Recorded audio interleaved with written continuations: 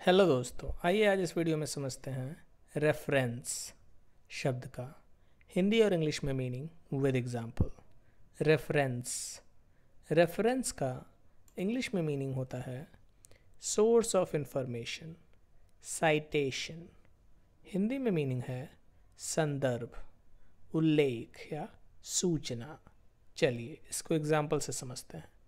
Can you provide a reference for your work experience क्या आप अपने कार्य अनुभव का संदर्भ प्रदान कर सकते हैं?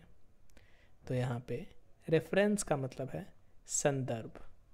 तो इस वीडियो में इतना ही। इस वीडियो को लाइक करें। चैनल पर नए हैं तो इस चैनल को प्लीज़ सब्सक्राइब करें।